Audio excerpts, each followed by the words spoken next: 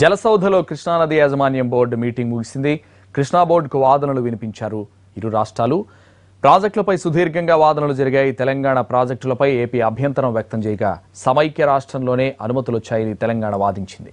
అంతకుముందు Krishna river board సమావేశం సుదీర్ఘంగా వాడివేడిగా జరిగింది.